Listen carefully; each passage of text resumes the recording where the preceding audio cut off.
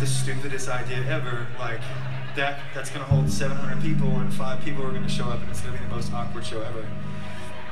And so uh, we listened to advice, and we uh, we didn't take it because we're in college and we were dumb. And so we booked a show by ourselves at the 40 Watt with our manager that was still in college at the time. And um, we, we, we get there and we're like freaked out. You know, we did like a promo video. We're like, we're a real band. You know, we're not just college band. You know, and. Uh, we get there, there's a line of about 200, 300 people outside the door, and the show sold out before the night was over, and it was the moment for me where I literally like called my mom after and I said, I actually think we might like do this thing.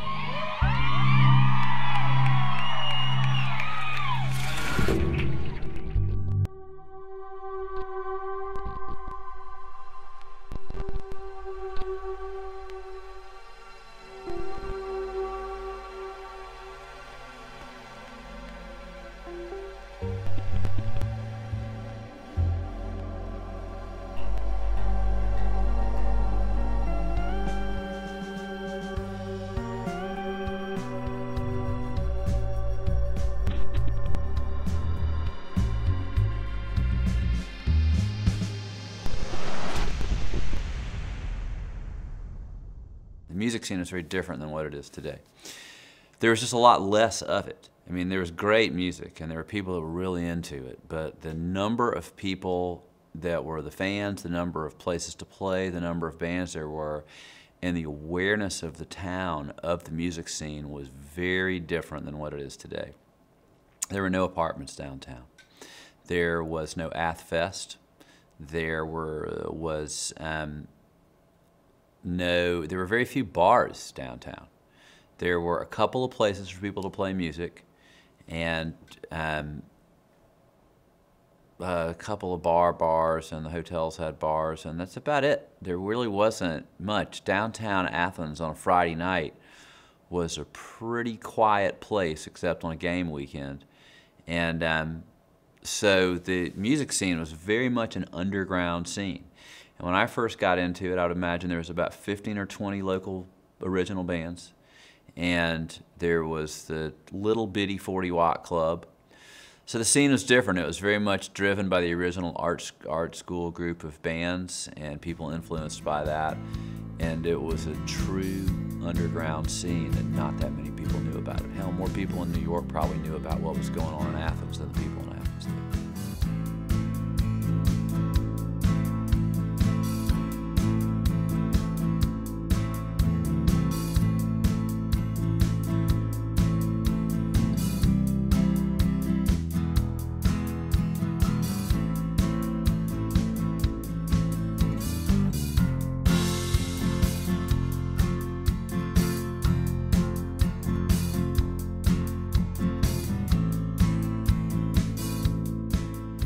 My personal experience of that original band scene here, of like the Pylon REM era, now I will say the B-52s were gone by the time I got here. That really didn't last in Athens very long. I mean, they took off so quickly. They were here for a little bit. I mean, they lived here, grew up here, but you know, they were off and gone to New York probably two years before I came to go to college. But when I arrived, REM had a single out and were in the process of making, I guess over the course of that first year that I was here, they were making their EP. Um, Pylon had a record out already, but the impact of that on me uh, changed my life. I mean, I saw REM play at a club here with a few hundred people, and I felt like I was seeing The Who in the 60s. It was the most unbelievable thing I'd ever seen in my life. And up until that point, I understood the playing of music, like in the garage, me and my friends, like basement rock, playing keg parties and things. And I understood how I could go see a touring hit rock band in a basketball arena or the Fox Theater. But I really did not understand how you got from one to the other like I knew the Beatles went to Germany, but I didn't really know what it was that was in between.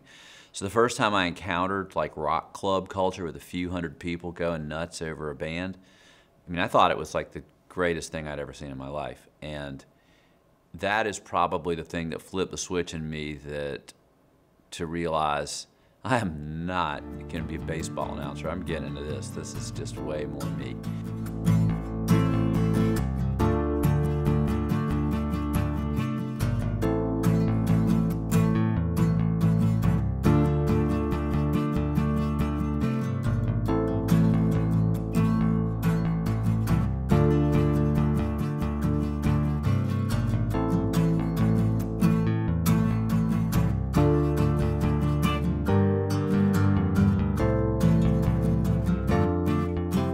I know very few like professional musicians that are like don't have other jobs or other means of making money. Most people I know have some sort of job to supplement their income, um, and I know some people who are very successfully working, you know, three days a week, two or three days a week at a job, and then playing four shows a week, or touring on the weekends, or um, recording and then selling albums. Uh, one example of that would be Cicada Rhythm. It's my friends Andrea and Dave, and they've been playing music for a long time.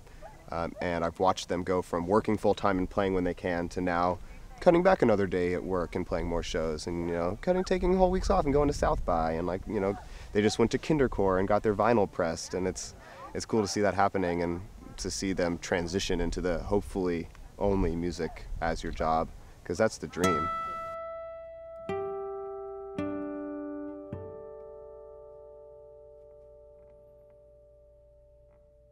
The sound of bands in Athens, the impact of REM is pretty interesting because, um, on the one hand, this is like a creative scene, and so the last thing you wanted to do was to be like somebody else.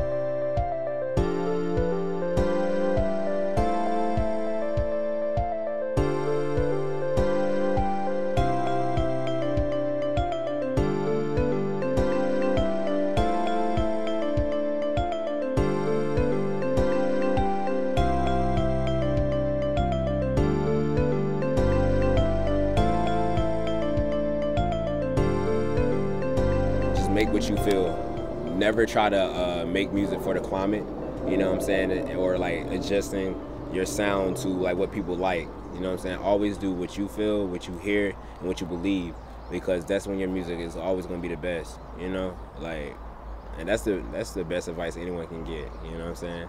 And writer's block, you know, you can't let that get to you.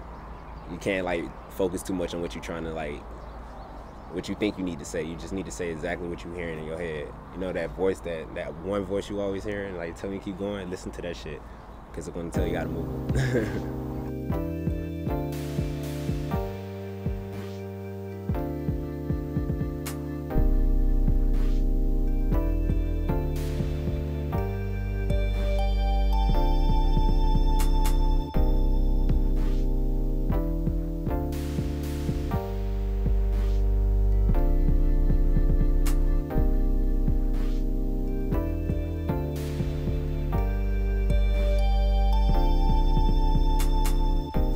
I had heard about the scene before. I mean, my dad listened to REM and my mom likes the B52s. So I'd heard about like all the classic bands. The um the historic scene kind of definitely informed me too, just like cuz I I I don't like worship the guitar playing from from Athens then, but like I was really heavily influenced by like um, the guitarist for REM and the guy from the Smiths actually for like my first album.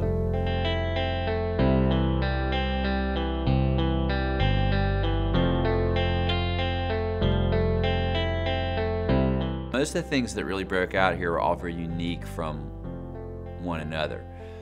But that's not to say that there weren't a lot of bands that, especially people that moved here, that wanted to have like a jangly guitar sound like the early REM stuff. Jangly guitars and a dancey beat.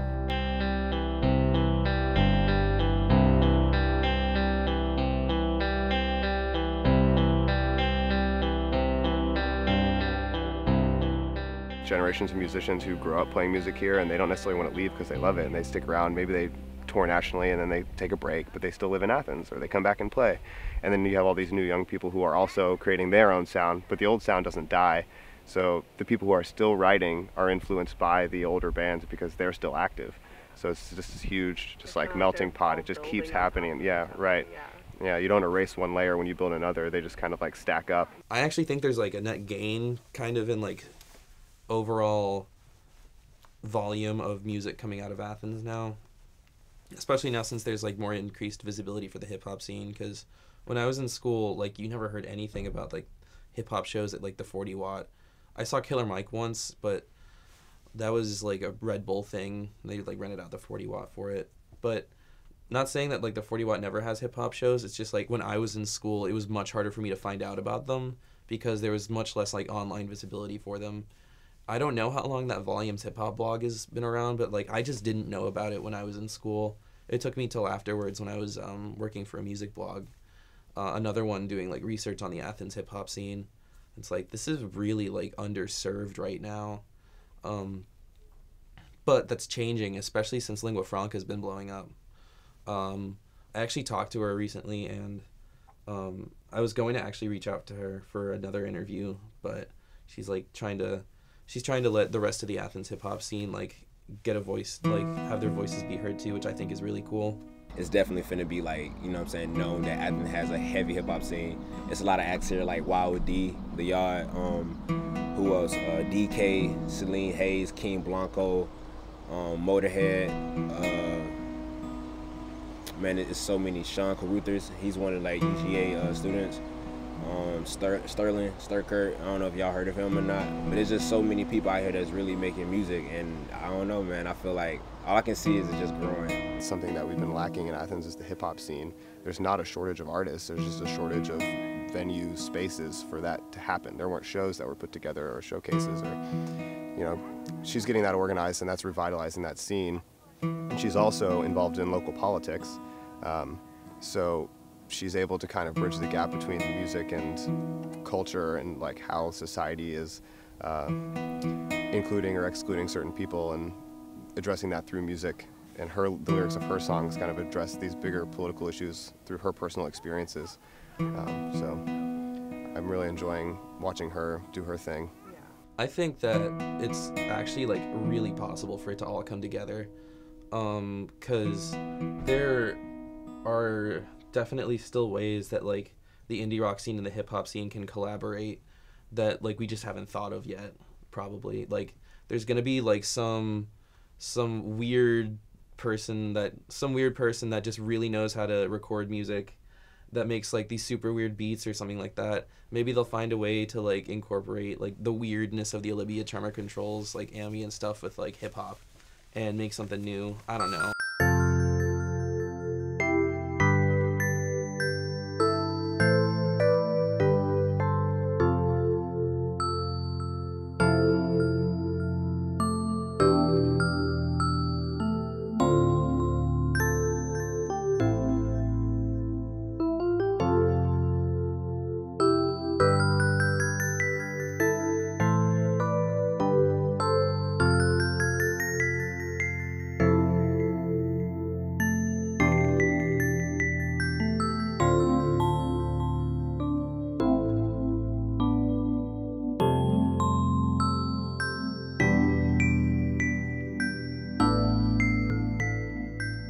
University like versus the townies kind of is a really big creative point for people.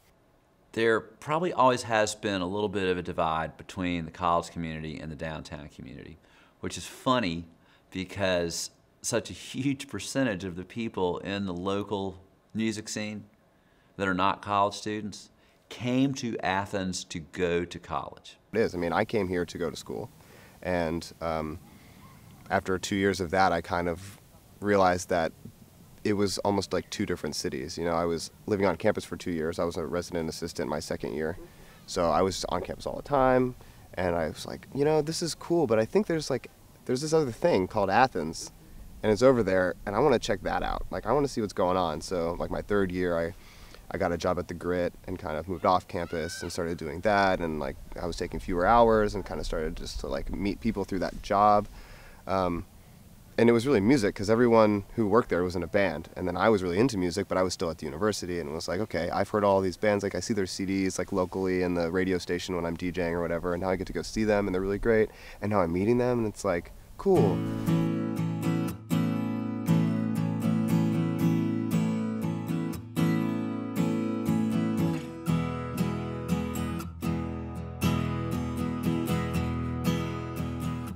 yeah, a lot of people that live in Athens work at UGA, but a lot of times like you had I had to like research shows and stuff like that. Like I was I had to like read the flagpole because that's like the the weekly, the towny weekly, you know.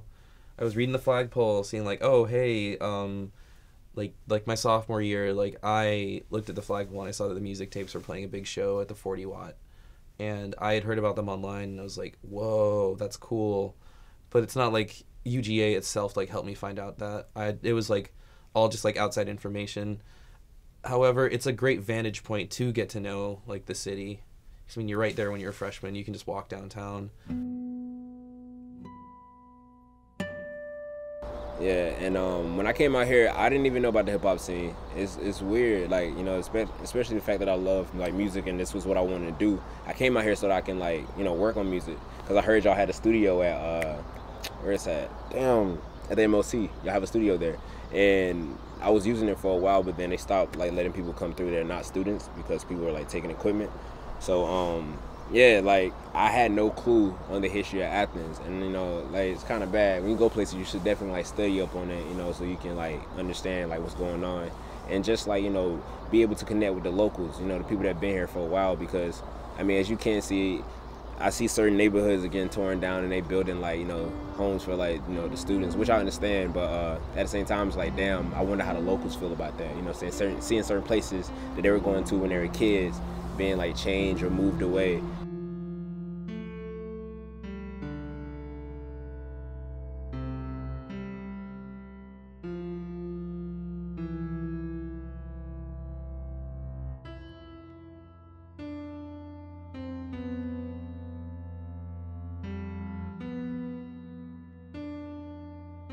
I think there can be more attention paid to continuing to support and foster local businesses and local growth and preserving the communities as they are now.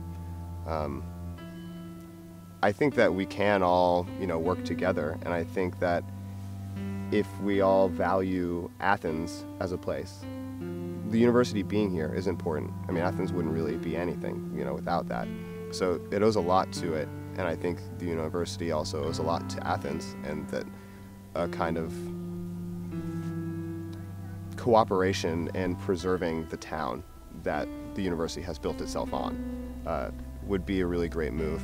Um, there's just a lot of really old houses, I mean hundreds of year old houses, that uh, are getting torn down, and no one really talks about it. They're just gone. And then, you know, the next group of students who come through won't know that there was like a you know 150 year old house that was like on this plot. But it was torn down and now maybe there's a business or like a, apartments or something. But you can't just like let that kind of thing fade away. I think that's the hardest part for me is seeing the impact the university has on the town. And it's not always acknowledged and there could be so much done be like done to join forces to like preserve the cultural integrity and historical uh, areas of Athens through the university university because they have historic historic preservation and they've got you know all these programs that could be teaming up with the government or the town itself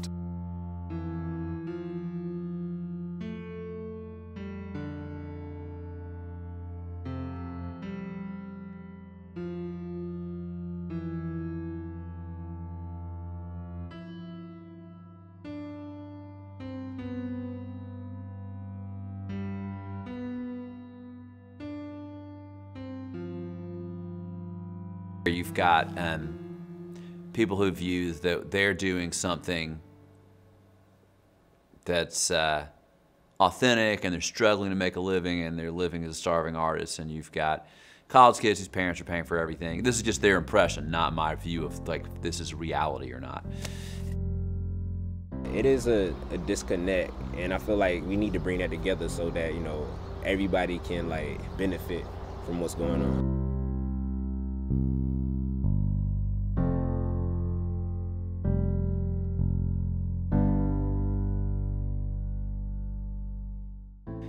There's been a lot of good reasons for me to leave Athens, for me to go to Los Angeles or New York and pursue my career in those places. There's a lot of opportunity, there's a lot of business that I do in those places already. But I love living in Athens. I love the town, I love the people, I love the creative vibe.